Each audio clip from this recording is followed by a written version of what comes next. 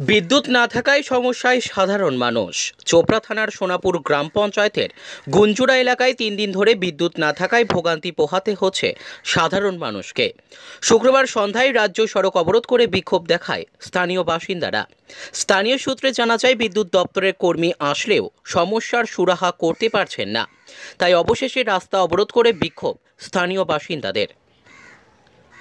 উত্তর দিনাজপুর জেলার চোপড়া থেকে রাকেশ রায়ের রিপোর্ট বর্ধমানের কথা।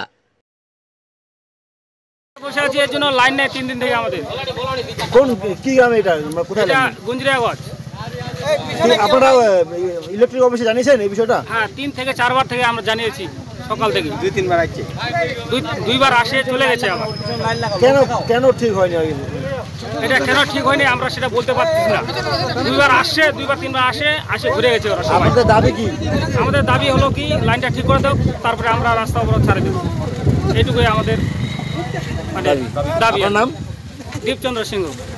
জায়গা এটা? এটা গুঞ্জরিয়াগঞ্জ